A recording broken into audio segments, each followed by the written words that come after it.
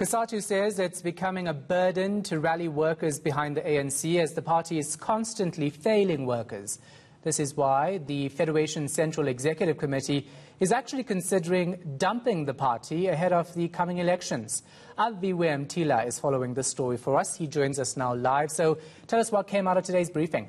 Sean, there were a number of things that were thwarted out over the last three days by COSATU, but the one that really stood out is that the trade union is considering dumping the ANC in the upcoming local government elections. In fact, it's going to hold a special um, Central Executive Committee meeting uh, just to deliberate on whether that would be the appropriate decision, because they say that the workers on the ground aren't being catered for. They believe that the ANC has lost touch with its constituency, and that is the workers on the ground, and they believe that they're not serving uh, their interests. So they feel that their workers um, can't be forced to vote for a party that essentially doesn't serve their interests, an issue that the uh, Mike Shingange from COSATU touched on. It is very important for the ANC to, to know the things that they need to know or to hear the things that they need to hear, not the ones they want to hear.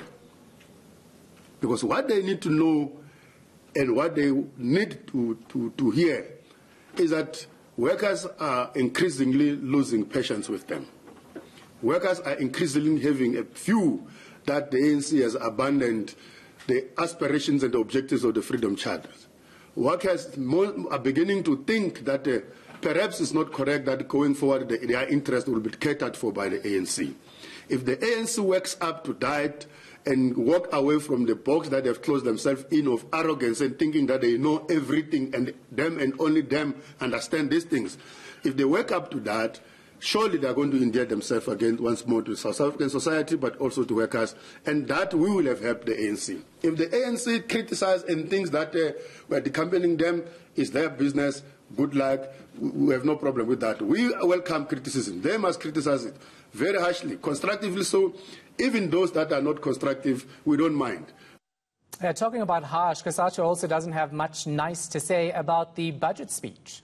Not at all, Shahan. They believe that Wednesday budget uh, was a huge disappointment. In fact, they believe it caters more for the corporate world uh, than the workers on the ground. They say, for example, corporate tax has been um, reduced while um, the wages, wage increases of the workers on the ground have been frozen for, for four years. So they're saying that it didn't cater for um, the constituency of their members on the ground. And it's an issue that I touched on with the president of COSATU, Zingiswa Losi. The budget, we feel that it, it is pro business than, than pro poor because, uh, for an example, it, it does not talk about how and the targets of the jobs, how they will be uh, created, and it does not also make business to be accountable about the tax breaks that they are going to be getting. Uh, but also, it, it, it puts austerities in, in, in relation to the most critical areas uh, for our people on issues of health uh, and, and, and the cut of budget with the municipalities. That's where services are mostly needed. And we feel that our government is quick to cut on the budget than to make people to account. It also does not tell us how government is, is preparing to uh, strengthen SARS in, in recouping and tracing uh, from the private sector the very same big business that is getting tax breaks on how they are going to recoup the, the tax evasions that have taken place in our country. So a lot of money goes to waste through corruption, through tax evasion, and, and, and those that get to, to, to, to be punished are the poorest of the poor in our country.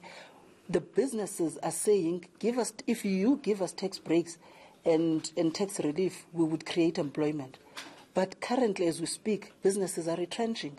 And there is no accountability by government to the businesses to say, but this is what we have done for you on the basis that this is what you're going to do. And all what we see is bloodbath. We'll leave it right there. Our reporter Aviwe Mtila.